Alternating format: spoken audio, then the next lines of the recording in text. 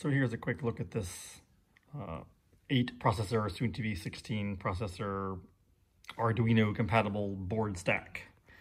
So it's composed of eventually four of these boards, um, which is a little PCB that I made. Um, it has four of the SAM uh, processors on them plus a fifth one.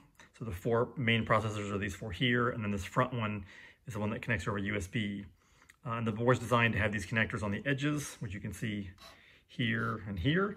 And the idea is that the uh, four processors are connected. So this one's connected across to there and up, and each one's connected across and up. And then there's a right and a lower or a right and an upper serial port connection as well. Um, and since there are, uh, there'll be a total of 16 of those uh, core CPUs, and each CPU does four interconnects, then you can do a 4D hypercube arrangement where each CPU connects to four other CPUs. And uh, it's a pretty easy scheme if you number the CPUs from 0 to 15 and then look at a binary. Um, each CPU is connected to the other CPUs that are only one bit difference between them. So uh, it's a pretty easy interconnect topology. Since I'm using connectors and little cables, you could actually do a number of different topologies. Uh, it's a pretty easy thing to do. So the little front SAM CPU is the one that talks over USB, and it orchestrates the ability to flash all of the CPUs in the whole stack. Um, there's a set of serial ports that go between boards as well for that. Um, and so as an example, right now we're running a little script on each CPU that has some LEDs lit up.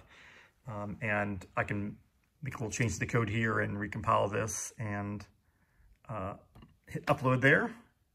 And then it will reset all the CPUs. And if you watch, it'll upload to that one first. And now we'll switch over to the second CPU, which is the one over here. So this will cycle through all four CPUs on this board. It actually can flash all the CPUs in the stack, but I have to have the other connections finished, which I haven't done yet. Um, but it's kind of a neat little board to play with. Um, the connections between the CPUs allow you to do a, a, message passing scheme so that each CPU can then send messages to any other CPU via this uh, message passing bus.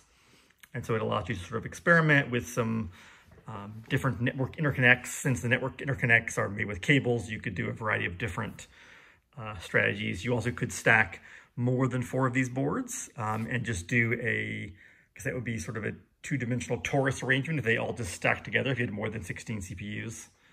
Um, so it's kind of a neat little uh, multi-CPU Arduino project.